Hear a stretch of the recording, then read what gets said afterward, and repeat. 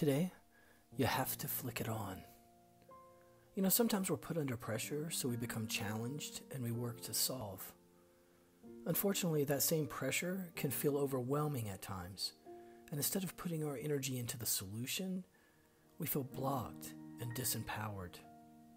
It's at this time we have to choose because we are presented with only two options to exist in and perpetuate the bad feelings we're feeling, or to find a way to shift yourself to a more positive state.